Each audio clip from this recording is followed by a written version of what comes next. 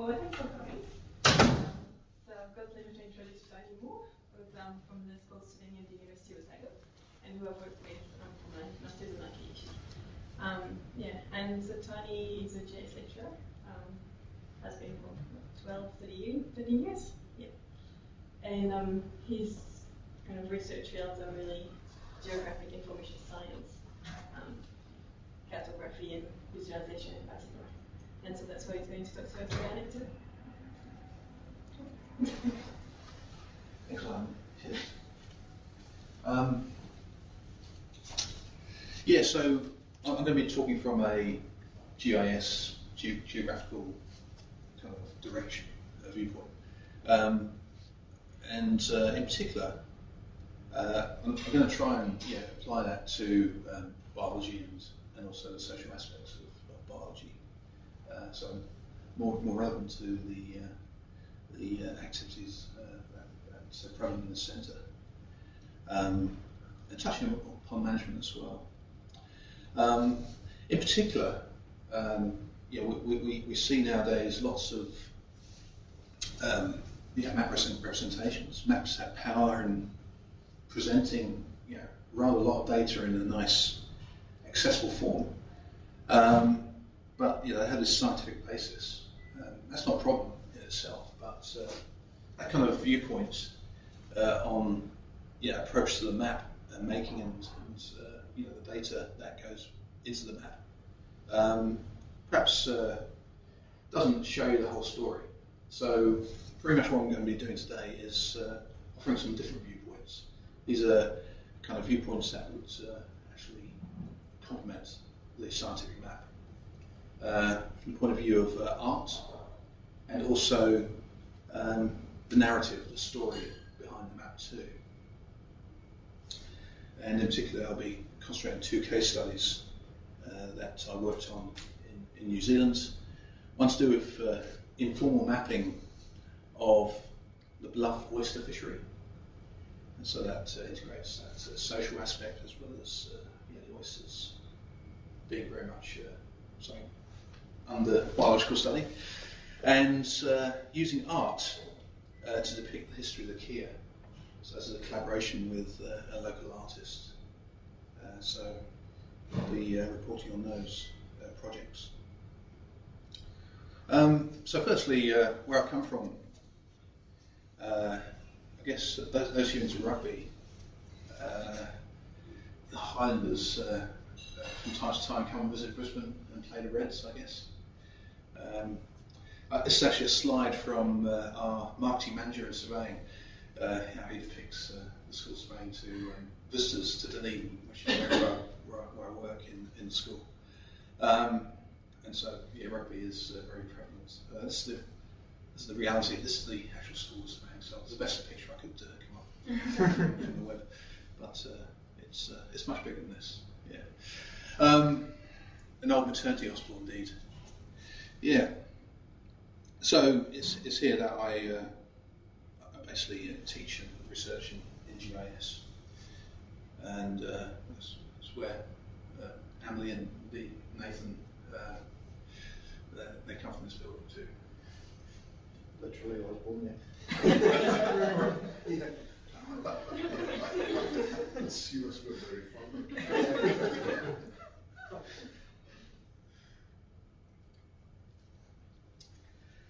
So, the map.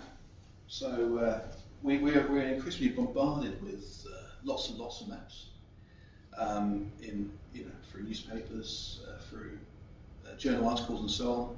And their power is long, long kind of uh, yeah, respected and, and used.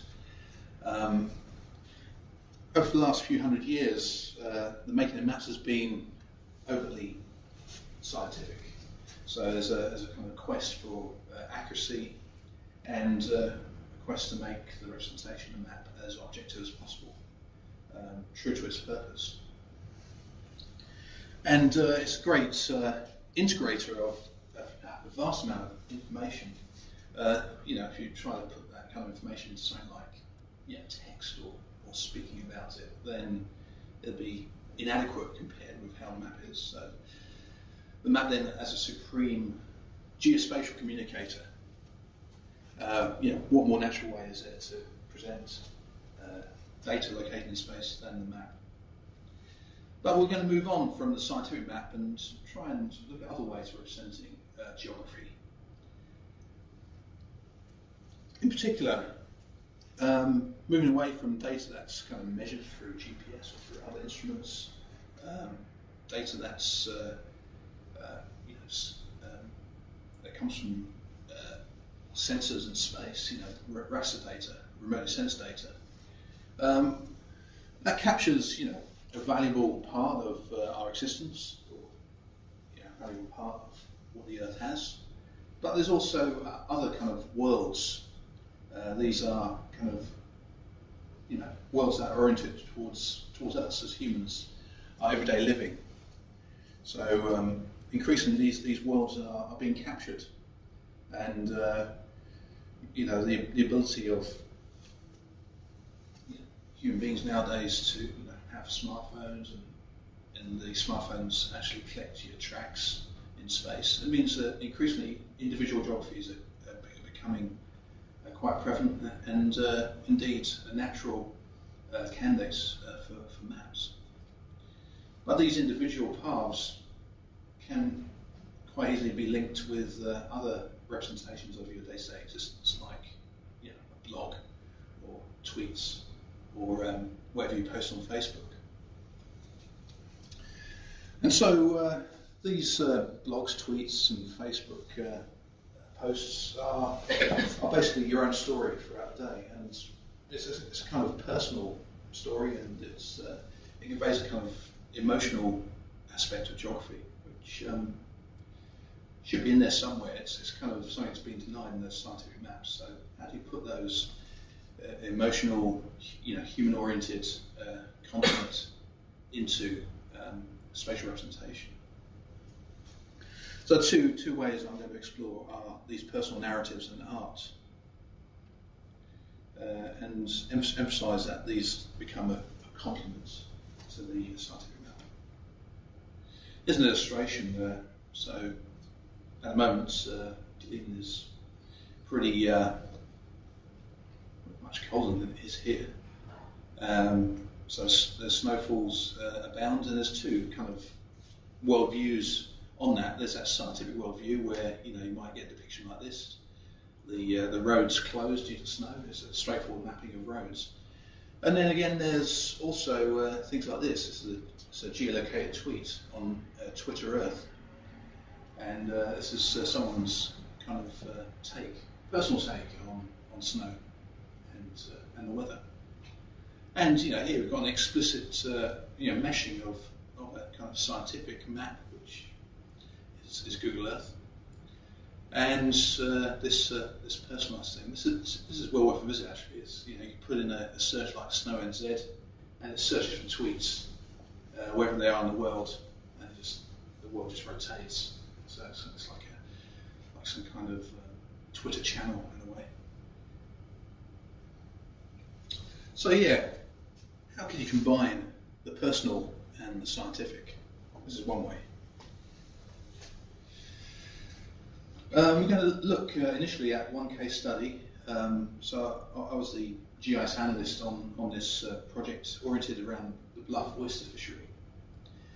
And in Bluff, uh, you, you know, go and visit Bluff, there's like two views on the oyster fishery uh, kind of presented there's one that's represented by the, the managers of the oyster fishery, which um, depicts, in, in, a public face at least, uh, that the oyster fishery is quite healthy and uh, will go on, you know, ad infinitum.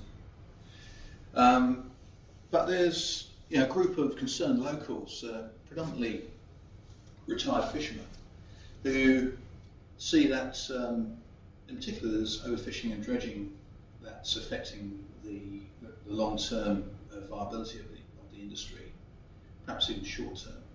So they don't, they don't see the fishery carrying on for long, uh, you know, for that long at all if fishing is to carry on at the same levels. There's also this disease bonamia as well, which is uh, blighting uh, the oysters. in terms of um, public representation, it's the uh, the managers and augmented by scientists uh, uh, that actually have, I guess, the public stage. So there's one one view of this being depicted, and I guess this project concerns about how to kind of give, I guess, a stage to the other point of view, the, the retired uh, fishers who, um, you know, you know, who, who, who up to now, don't, you know, they don't have much of a, uh, a kind of um, a stage for which to present their point of view. And so, tying in with uh, public participation GIS, community-led GIS, um, this project set out to record the, uh, I guess, the geography, the knowledge, the local knowledge of these fishers, and uh, try and present it by GIS to, to a wider, wider stage. The aim was to have that scientific knowledge, the, the knowledge that uh, is presented um, via the managers and local knowledge side by side. So, you know, it's two representations of the fishery, one in form mapping, one kind of form mapping.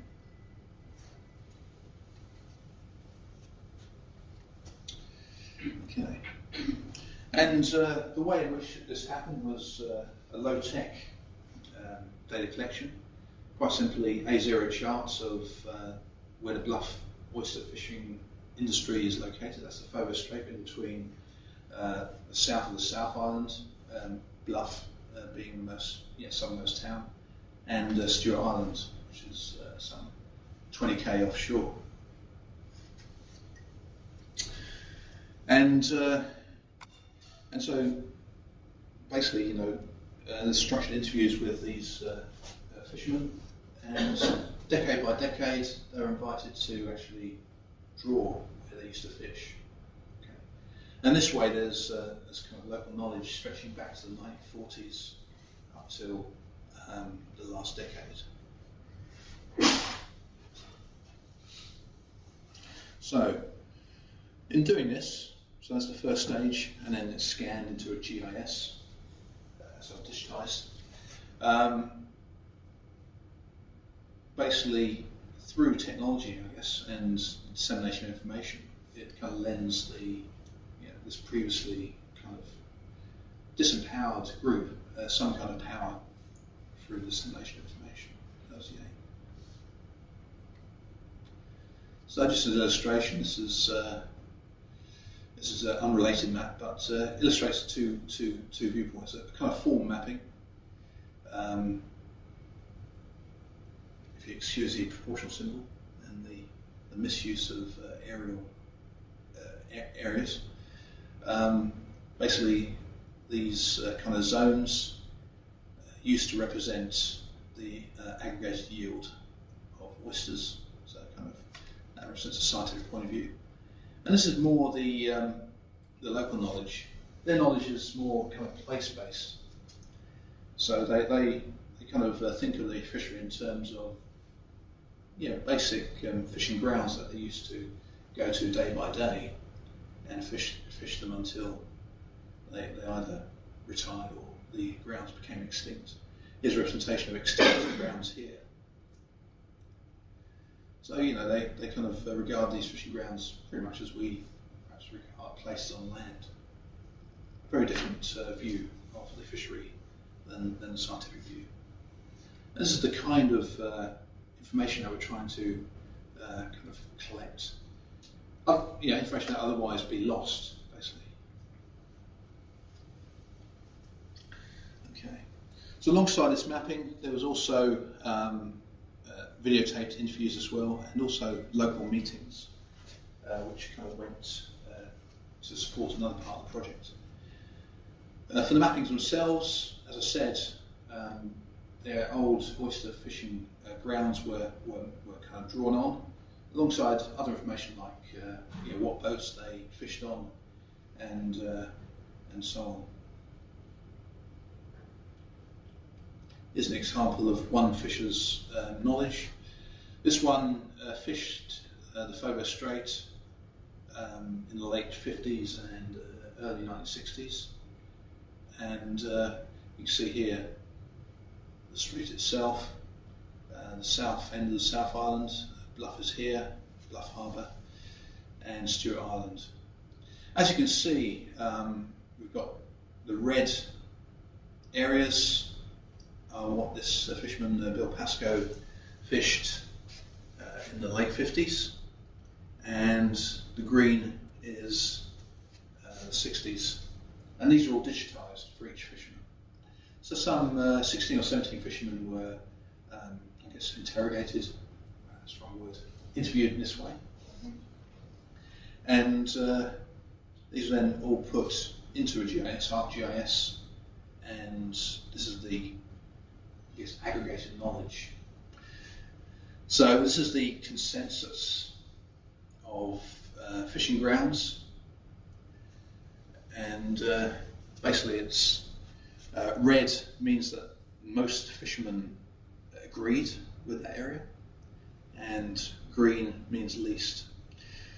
So you might think that uh, this kind of information, you know, we've got we've got uh, a retired fisherman trying to remember the fishing grounds that he, he he went out to fish on like some 60 years ago. So you know, it's kind of it's, it's like a mental map really. So for one fisherman, yeah, maybe the basis for um, I guess uh, the rigor of that, that kind of area as drawn on the map is, is, is kind of pretty shaky. If you've got, you know, some 10 fishermen agreeing on the same spot, then that, that kind, of, kind of consensus lends it, uh, lends it some kind of power. So, this is from the 40s to the, the noughties. Uh, decade by decade, um, you can see that uh, here we've got uh, one fisherman's uh, recollection of the 40s, because there's only one fisherman who actually fished in the 40s. Um, so we've got that. 50s, we've got uh, rather more fishermen uh, coming in, and you can see some kind of uh, consensus building up. The 60s and the 70s are the kind of heyday, I guess, for these fishermen. You see the clearly the the centre of density of where they fished, and the 80s, 90s, and 2000s. So what you see here would seem to be a kind of dwindling of fishing grounds and a kind of migration uh, eastwards towards this island uh, here, Ruapuke Island. But uh, it's, it's, also bear in mind that the, the, fishermen who are kind of off this point of view are not those generally uh, who, are, who, are, currently fishing. These are retired fishermen. Um, those who are currently fishing are, I guess, I guess with the industry. So like, um, so, so there's there's very few kind of um, very few fishing grounds uh, in recent years that have been recorded. That mean, that just means that we've got very few fishermen who are actually fishing in, in that decade.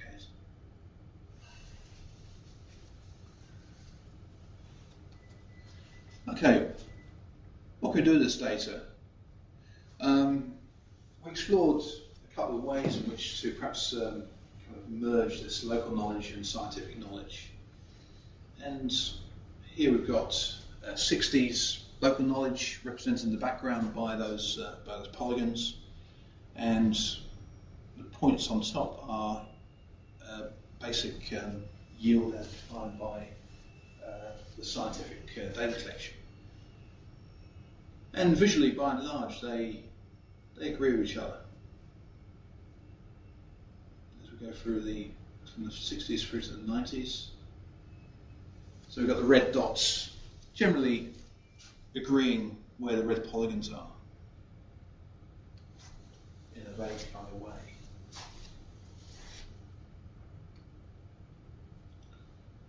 And we've got uh, it carrying on into the last decade too.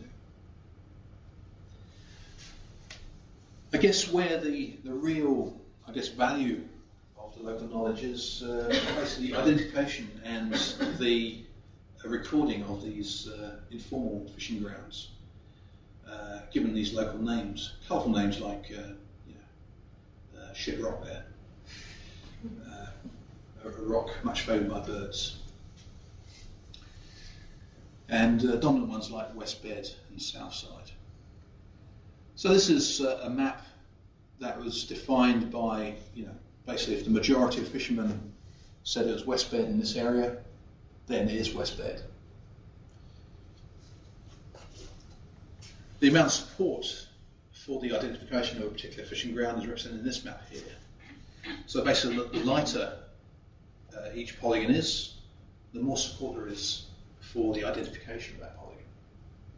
So saddle bed, the support for saddle bed being here is greatest where it's lightest. So what I've shown are basically alternative representations on uh, a fishery. It's an alternative story. It's an informal mapping. And the message is that you know, it deserves to be uh, kind of up there and out there alongside the, the more scientifically led viewpoints and the management viewpoints. Yeah, for a kind of more holistic, uh, a truer picture of history uh, of the of the uh, oyster fishery. So you know, this opens out uh, other ways, I guess, which you combine both worlds, the scientific knowledge and the local knowledge as well. So using those uh, polygons perhaps to to actually uh, depict scientific data. So using local knowledge, the identification of this as the west bed to depict yields as collected by the scientists.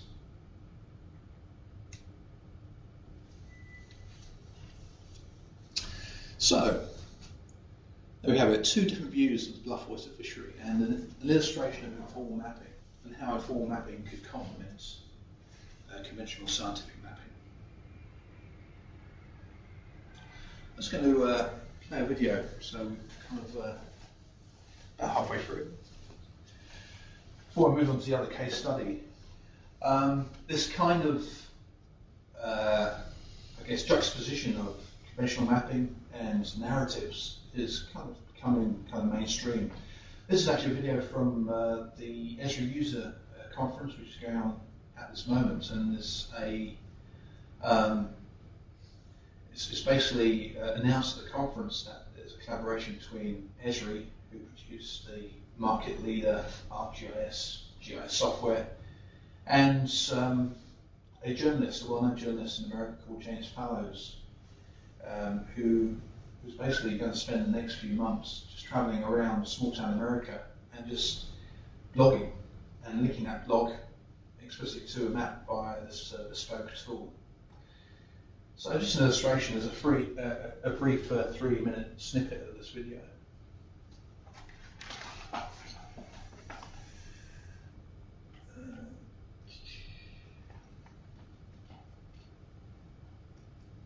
Which I actually have right here. There we go. So this is um, an illustration of Sioux Falls. This is this just uh, exemplifies how the tool works. You can just see the juxtaposition narrative of the map. So let's play it there. I'm going to change the subject radically, radically this afternoon. World's aerial imagery, which is in the cornfield a dozen last night. I'm going to give you a glimpse. Washington D.C. has just now put together meetings and, crucially, using maps along the way. Let me give you a brief illustration of the new geoblogging tools that Esri's story map team in Washington, D.C. has just now put together. And by just now, I mean even last night. I'm going to give you a glimpse of what we'll be doing based on a trial run trip just 10 days ago my wife and I made to Sioux Falls, South Dakota. Most people here know of Sioux Falls, uh, Sioux Falls because of EROS, the treasure house of the world's aerial imagery, which is in a cornfield a dozen miles north of town. Sioux Falls is bigger than most of the cities we'll visit, but it has a surprisingly diverse and dramatic economic, commercial, technological, and sociological base, which we'll begin exploring in detail when our project goes live next month.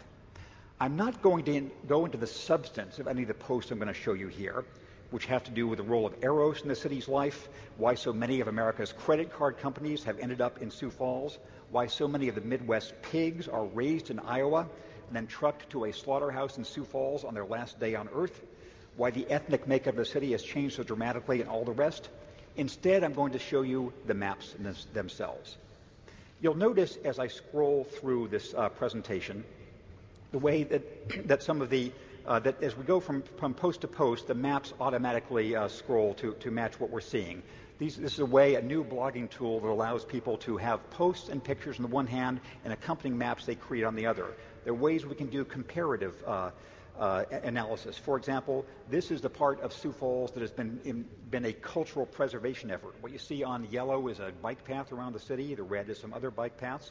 And this illustrates the city's role as retailer to the region. The red areas are big box uh, retail areas and, and uh, where people come in from the countryside. Uh, this, for any of you who are bow fishermen, you'll be able to find a uh, river to fish in, in Sioux Falls. We're able to see things like the, uh, to compare aerial and pictorial views. This is the slaughterhouse. It's how it looks on its day off on a Sunday. We're able to talk about uh, comparative social analysis. This was the ethnic makeup of downtown Sioux Falls before recent changes in immigration patterns and changes in the unionization of the, uh, of, of the packing house. Here is the way things look now, and you can return to comparative contrasts. Uh, we can, all of you have heard about the, uh, the shale, shale oil revolution that's made such a difference for North Dakota. We're able to explain with a map like this why uh, South Dakota has to look for different sorts of its economic uh, welfare because of the shale oil deposits reaching to, into the north and only in this small corner of South Dakota. And interesting geological contrasts. We learned from everyone we spoke with in South Dakota that really the way the state should be divided is East Dakota and West Dakota, because the Missouri River is a geological and sociological and agricultural and every other sort of difference in the states. There are ways you can show this with, with maps. Those are croplands, and here's the geological uh, difference, and also illustrate them with with pictures. And you see, this is looking south along the Missouri. You see the rough prairie on, on the right of the west and the flat land, the Midwest, on, on, on the, uh, sorry, on the right and the Midwest on the left. There is a lot more I could show you, but that, was, that is what our project is going to be about in the months ahead. And I think that the most important thing to remind you here is that while you've seen some of the things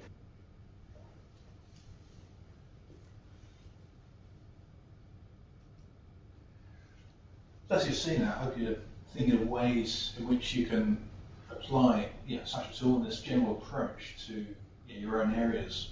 So, you know, you've got maps, you know, why not kind of you know, associate maps with this kind of block, illustrated block. Um, it's an approach that could have been done with the, map, the bluff maps I've just shown you. Um, so an illustrated history of the fishery alongside uh, the maps. So I'm moving on from uh, narratives to another uh, channel of communication. This is art. So art and maps uh, are, kind of not uh, not newly put together. I mean, uh, you know, before, you know, about 300, 400 years ago, art was quite regularly a part of maps. It was actually, you know, an ideal way of uh, depicting uh, the, I guess, the new world being discovered to, um, to in particular, I guess, uh, Euro- European uh, nations. Here's a 1600s map of uh, the area that is, we now know as Antarctica. So um, not much was known about this area, and uh, you can see here that this is Australia, isn't it? Yeah, so not uh, all of Australia was known at this point either. So um, basically, the, the gaps in knowledge uh, was given a kind of helping hand through art. So around the site here, you see presumably interpretations of what uh, the Antarctic uh, locals may look like, and perhaps an indication of climate. Um, way off the mark, I guess. Anyway, maps and art have long been kind of uh, bedfellows, I guess. Uh, and then came this kind of uh, rush towards scientific maps, and art got forgotten of within cartography in about the last 10 years, uh, art has been kind of reconsidered, uh, pretty much in the way that I've uh, talked about before, as a alternative channel to depict an aspect of geography that scientific maps can't adequately uh, um, convey. So art's ability, in particular visual art's ability to convey um, or instill or uh, engender emotion in human beings. Um, the art could, the, the, map could do that, but, uh, but art is uh, it's got some kind of power that the map hasn't. Uh, researchers in cartography have um, had a look at just how maps, in particular visual art, could uh, coexist.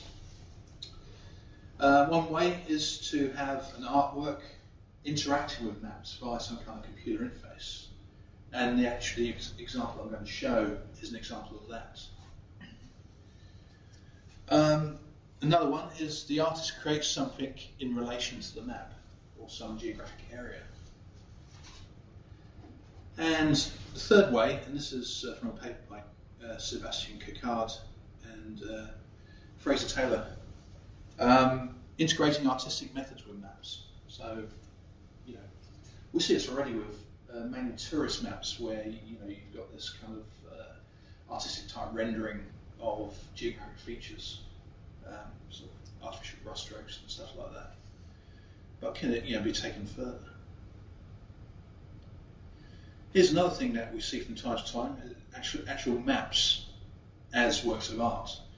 You might have seen uh, the London Underground being reappropriated uh, for this artwork here by um, Simon Patterson called The Great Bear.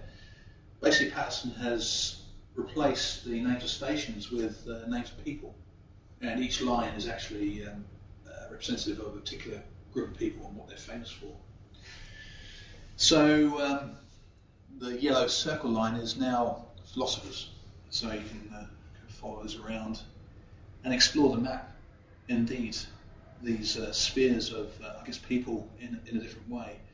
You might uh, actually uh, can't read this. Anyway, yeah. So around the circle line here, we've got philosophers, and we got at the junctions, you know, where lines cross. So sort of juxtapositions, uh, like here, for instance, we've got Captain Cook. So I'll just stop the philosopher line there. Anyway, it's um, it's a work of art. It's you know, it's been exhibited. Uh, more recently, uh, probably all heard about the Apple Maps uh, debacle. Uh, you know, kind of places being in the wrong place and so on. Um, well, these are Apple Maps attempts to render the world in 3D. So these are actually, you know, automatically generated 3D maps, and someone has just basically, basically uh, scanned Apple Maps, look for examples, put a nice name onto it, and their works of art. So maps as art. Uh, so we've got an Inception style um, kind of rendering of the road going directly upwards. So uh, whatever technique is used to do this uh, can't handle, handle overhangs of buildings. And here's, here's a road being split lengthways uh, by this massive wall. So artifacts like that, um, you know, while this building here has been quite uh, constantly uh, done in 3D, uh, something happens here that means that this road is, is basically not so well done. Anyway, the kind of uh, visual appearance of this it makes it look interesting from an artistic point of view. Anyway, that's, that's a bit of an aside. Um, as I said, where, where I want to go is uh, how we use perhaps GIS to bring in more artistic and you know, from the previous case study narrative aspects. Uh, this is uh, someone's explicit attempt to bring in photography. Not aerial photography, but the photography much like we would take to um, you know, on holiday. And quite simply, in GIS terms, you've, basically reserved a layer for photographs, what this guy uh, Jung calls the imagined grid. See underneath here the more formal um, map data, and simply on top, we've got photographs around this city. So it's a way of uh, merging quantitative and qualitative data.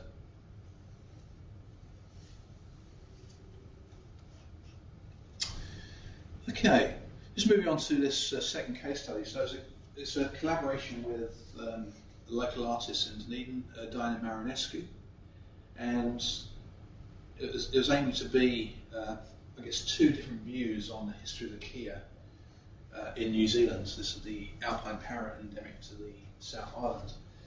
Um, and so we've seen uh, narrative and form mapping in, in, the case of the bluff oyster fishery. This is art.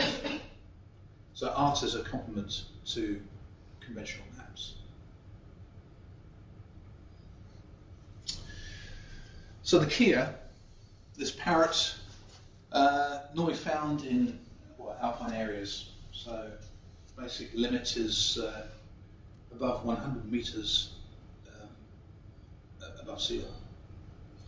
And its habitat is in the beech forests that uh, abound uh, the Southern Alps. So picking up the timeline uh, about 15 million years ago, um, so was then uh, something called the protocarca.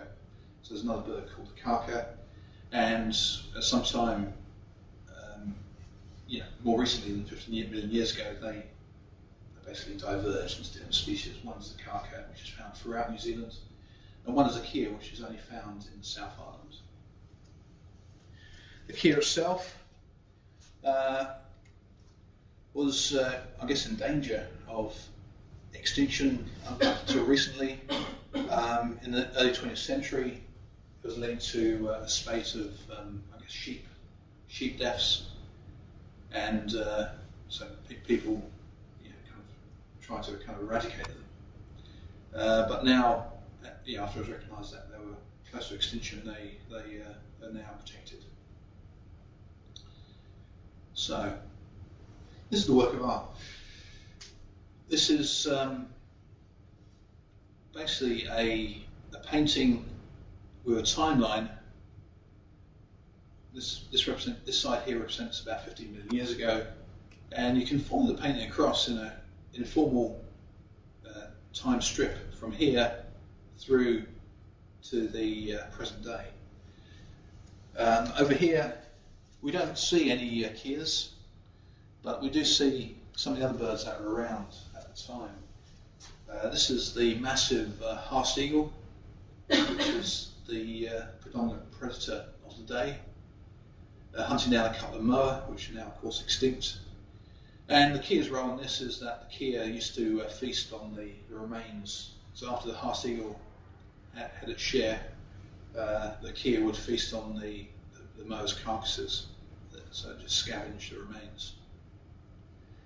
And then the timeline goes on through the last ice age, uh, and this marks the coming of man, I guess, the 20th century, and the introduced predators as well.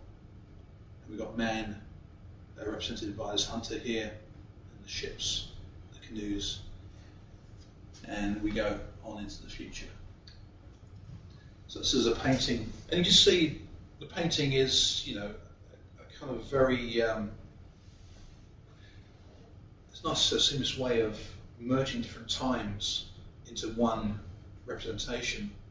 There's also many different places and spaces represented in this painting too.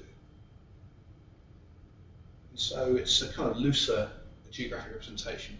And I guess the message is that, uh, that there, there is a, some kind of uh, space, uh, you know, a metaphorical space for such looser representations to complement those scientific maps.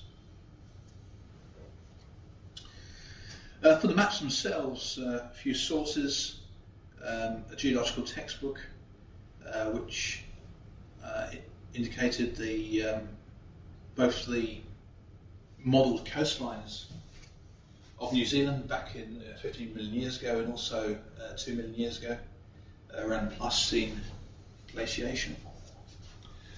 here we've got this protocarca, which was to evolve into the kea and kaka species occupying this uh, unified New Zealand. I don't know how much uh, kind of strength you can put to uh, such representation, but um, this is this is my my adopted representation of New Zealand 15 million years ago.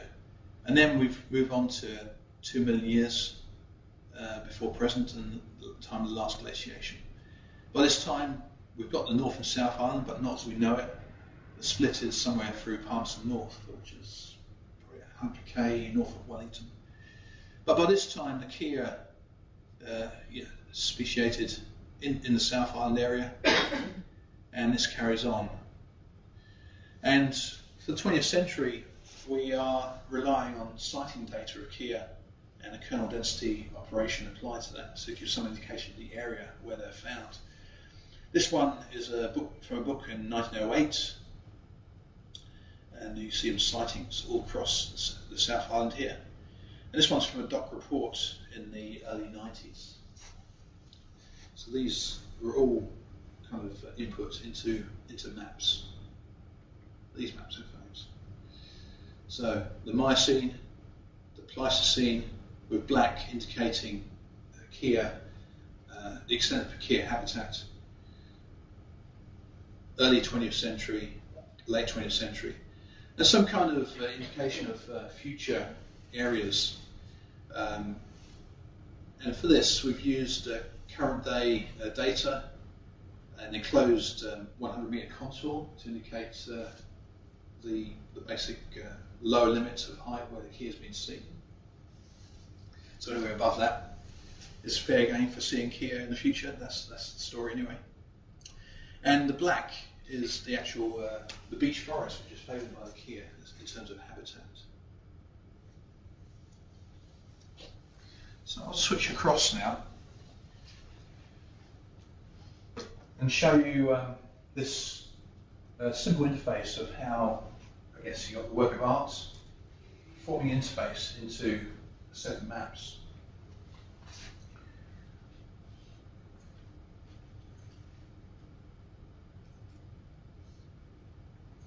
So initially, you see the work of art, much like you might see it in an art gallery. And the, the um, mode of interaction is basically mouse over behavior. So you just hover the mouse, the cursor, over bits of the uh, painting and the map appears. So around the time of the Miocene, and it borrows this implicit timeline in the painting, we've got the Miocene map appearing. And we just move across into the, the Pleistocene era and into the coming of man, the, the early settlers, and the more sp- specific data we have about Kea is represented here in the early uh, 20th century here and the late 20th century here. And then uh, going to the extreme uh, right of the painting, we've got that representation of the future, um, actually intentionally kind of cut off. So it's, uh, there's a bit of, uh, I guess, artistic license with that one. Um, some of these ideas and ideas in the painting actually borrow from uh, instances of fine art. So uh, some, some of the uh, more prominent examples of art in the last um, uh, 500 years or so.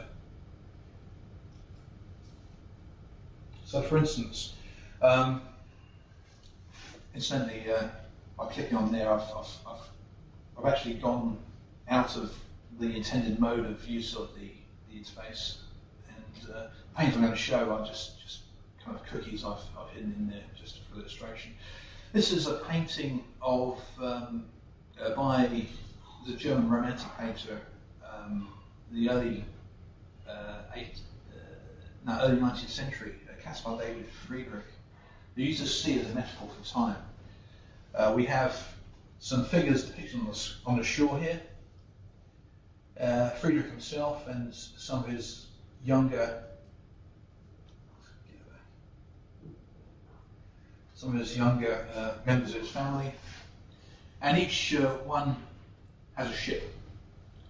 And uh, I guess the ships themselves are a metaphor for life. Caspar David Friedrich's own ship is about to go over the horizon, so he's coming close to the end of his own life there.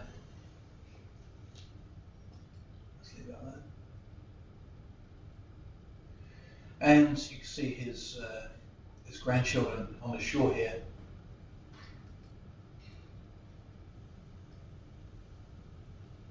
and their ownership just kind of left. So the sea is a metaphor for time, and uh, so we've got the sea as part of the painting as a metaphor for the future as well. Um, the theme of many times in the same representation is something uh, that's not new to, to this. This is uh, an example from the Renaissance painter Raphael. And uh, we've got uh, two frames, I guess, in the liberation of St. Peter from a Roman jail. An angel waking up St. Peter in the centre there. And to the right of the painting, we have uh, the angel and St. Peter out of the cell. So we've got uh, two different times at once as a kind of implicit timeline, a kind of kind of kind of comic about the, the kind of dividing gutters. And the idea for the uh, the map off the page.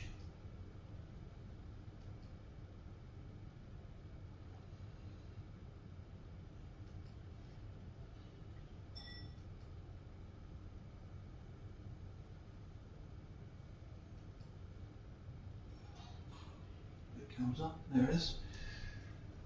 This is Toulouse-Lautrec's uh, jockey, and to convey kind of motion into the page or into the map frame, you've got the horse partially cut off.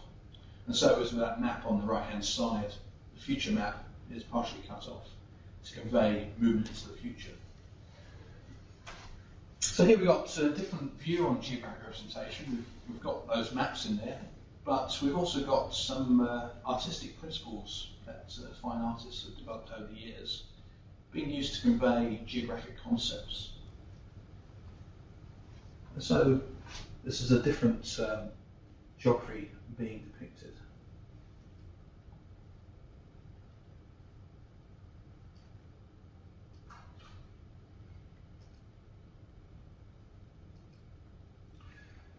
And so there's another example here.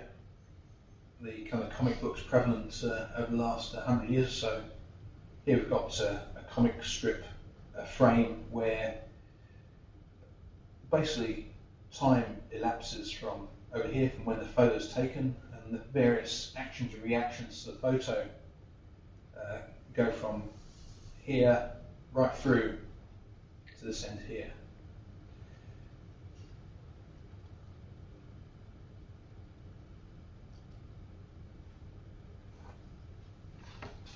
So we've seen uh, a work of art as a, a, powerful way to integrate many places, spaces, times, and also themes as well.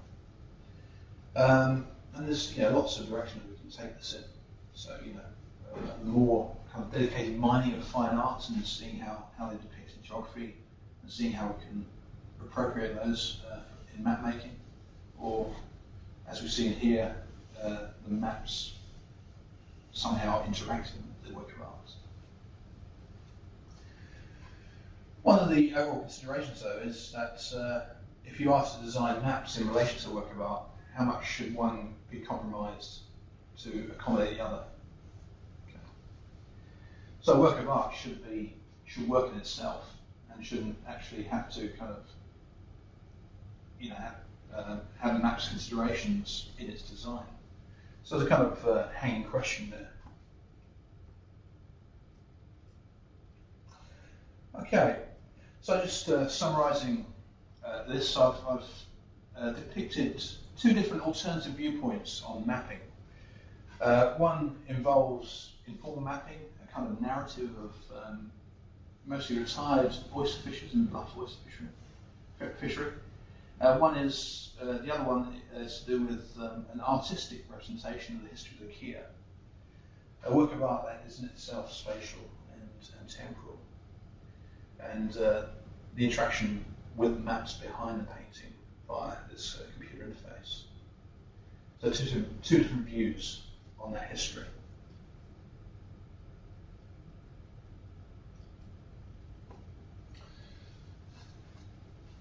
And so you can see these kinds of representations perhaps having more impact, particularly in the public arena. And perhaps these can be used by the public in, in actually making their voices heard in, in the more official arenas. So we've got uh, envisaged use at this uh, community grassroots level that uh, the Bluff oyster fishery example was uh, held, held at. above all, we're looking to introduce this kind of more human-oriented way of depicting geography uh, through the use of maps and also art, blogs, narratives, and so on. So that's all I have to say. I just remains to say, um, yeah, thanks, thanks to you all for, for listening, and uh, uh, thank, thanks also know, for hosting me over these uh, last couple of weeks. Uh, especially to Emily and Nathan uh, looking after me these last uh, couple of weeks, and yeah, and um, thanks here also to the contributory people in those two projects. Um, so, cheers.